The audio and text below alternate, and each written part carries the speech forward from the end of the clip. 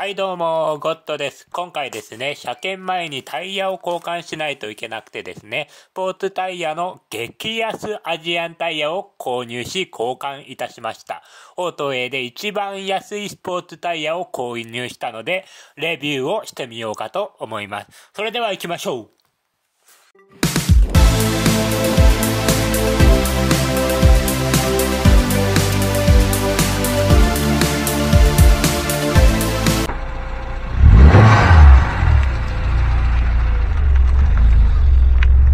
今回激安タイヤを購入したかと申しますと、前回もアジアンタイヤを使用していて、耐久性が良かったから激安タイヤを買いました。激安なんでアジアンタイヤなんですけども、安かろう悪かろうっていう風なイメージがある方もいらっしゃると思います。実際ですね、購入して乗ってみた感想をお伝えの方いたしますので、ぜひ最後までご覧ください。えっとですね、激安スポーツタイヤを購入する上で、まずは CRD 無限 RD のタイヤサイズについてお伝えの方をしようと思います。無限 RD は 20545R17 なんですよね。なんでその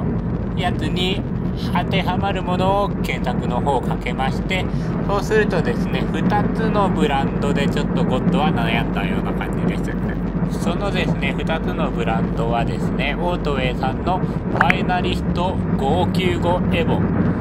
か、あの、ミネルヴァ F205 でちょっと悩んだような感じなんですよね。まあ、59エボの方はですね、6520円なんですけども、ミネルヴァの F205 の方は5960円なんですよね。価格の方はあのミネルヴァの方が安いんですよね。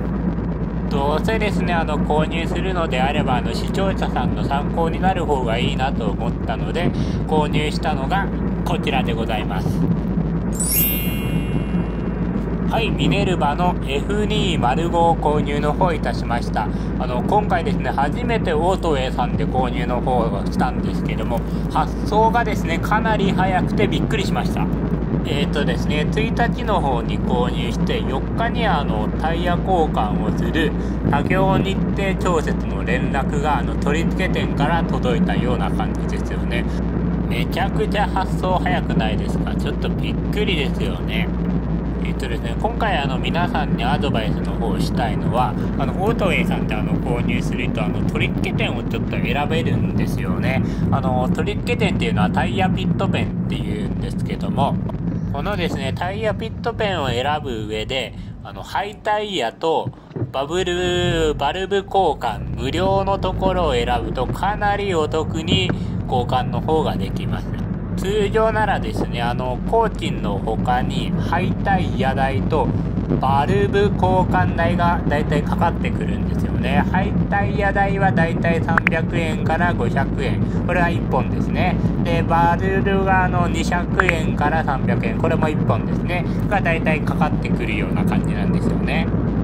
つまりなんですよね。9680円っていうのがあの工賃でこれにプラスあのさらに約2000円かかってきてしまうんですよね。で探すとですねタイヤピットペン探してみるとハイタイヤとバルブ無料のタイヤピットペンがありますのでそこでお願いするのがおすすめですね。実際ですね交換の方して走行してみましたが結論から申し上げますとコスパの方はめちゃくちゃ最高ですね。あのアジアンタイヤで良いじゃないかっていう風に思わせてくれます。むしろですね今あの物価がね上昇してる世の中なんで履いて損はない、まあ、履くだけでですね家庭家計が助かるようなですねアジアンタイヤ結構おすすめですね、まあ、一番ねあの何が違うかって言ったらあの価格の差ですよね。ゴッドがですね、調べてみたんですけども、2レーンミネルヴァがあの1本5960円に対してなんです。けど、国産のタイヤは1本1万6000円ぐらいかかるんですよね。比べるとあの1本1万円の差で、4本買えば4万円も違ってくるんですよね。もうそう考えたらめちゃくちゃ安くないですか。まあ、安かろう悪かろうっていうふうに思われる方もいらっしゃると思うんで、ここからの早速レビューの方をしていきます。はい。まずですね、あの、乗っって一走りして最初に思ったことなんですけどもあれロードノイズどこ行った？めっちゃ静かやなって思いました。すげえこんな違うんだっていう感じですね。だけどですね乗り心地はなんか柔くなったなっていう感じがしましたね。あの路面のですね嫌な土上げ山がですね減ったような気がします。ねあの発信の方をしたんですけども停車した状態からあの発信する時ですねまず感じるのはグリップ力は問題ないですね。あのちゃんとグリップの方してくれます。雨の日でもしっかりとグリップの方はしてくれていましたね。やっぱりですね一番に感じたのは走り出してからも静粛性は意外と高いなというふうに思います。さすがにですね荒れた路面では多少なりともそれなりに音は聞こえてきますので、まあ、ロードノイズは気になりますが、そこまで悪くはないですね。このですね、ミネルヴァの F205 なんですけども、あの、購入する前に、あの、ホームページの方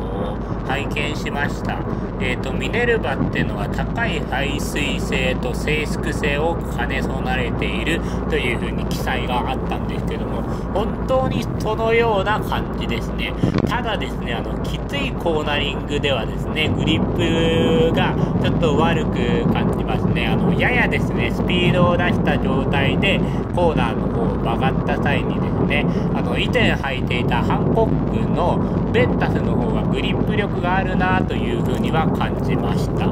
ただですねあの普通の街乗りでそんなきついコーナーとか多分ないので街乗りメインであのたまに峠に行くとかそういう楽しみ方はこのタイヤすごくいいと思います。価格の面でも良心的ですね。はい、ここであのね、簡単にまとめの方をいたします。このミネルダ F205 なんですけども、ポーツタイヤだけど、快適性を兼ね備えて、やや柔らかめなんですよ。だからスポーツタイヤだけど、コンフォート寄りなのではないかなというふうに感じました。まあ、購入して走行してみましたが、あのコスパの方は最高ですね。そしてですね、ゴッドがあの気に入ったのは、サイドビューも結構かっこいいんですよね。こちらの方をご覧ください。なんかかっこよくないですか？もうゴッドはですね、これ気に入りました。本当にあの、この、激安タイヤ買ってよかったと思っております。え以上でですね、今回の動画終わりになります。今回の動画がですね、皆さんの参考になれば幸いです。ぜひですね、チャンネル登録、コメント、